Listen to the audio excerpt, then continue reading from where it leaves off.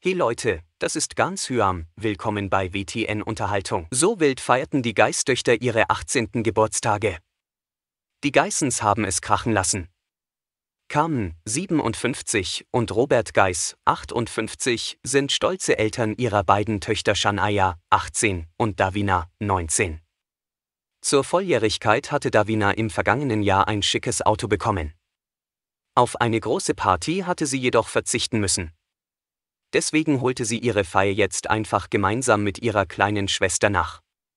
So groß feierten sie am Wochenende Shanias 18. Geburtstag. Durch Corona konnte Davina leider keine große Party haben zum 18.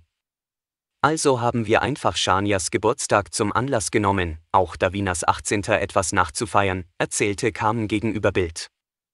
Außerdem seien sie und Robert auch selber zu der Party in Saint-Tropez dazu gestoßen, wie die 57-Jährige verriet.